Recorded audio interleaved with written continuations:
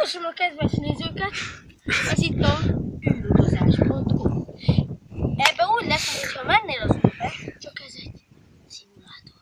Na kezdjük is. Ugye, akkor kilőne. Egyre durvábbakat érzel a testedbe. És lazán az.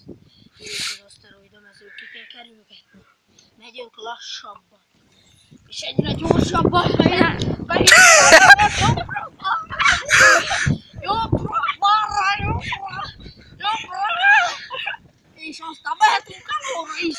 Meg balra, meg jobbra, balra. Össze-vissza. És eltalál minket egy aszteroida. Uff.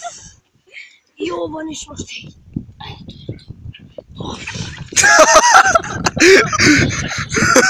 Jézusom! Stop, stop a videónak! Hoppá, így jöttem el.